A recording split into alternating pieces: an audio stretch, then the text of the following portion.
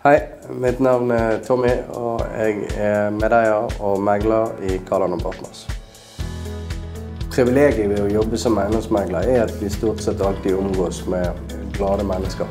De som selger er fornøyd, og de som kjøper er fornøyd. Og den rusen det gir ved å tilfredsstille folk hver eneste uke, det er, det er et privilegium. Tommy er en del av grunnmuren min. Jeg trenger Tommy. Bruker han masse i forhold til jobben. Han er en veldig god venn. Ufattelig flink megler. Altså, han er, han er tryggheten sjøl. Etter snart 20 år i bransjen, 1000, nærmere 2000 solgte eiendommer, så er det klart at det er nesten ingen tilfeller man ikke har vært og touchet innom. Selv om vi sier at hver dag er ulik, så, har vi nok vært borti nesten samme tematikken en gang tidligere.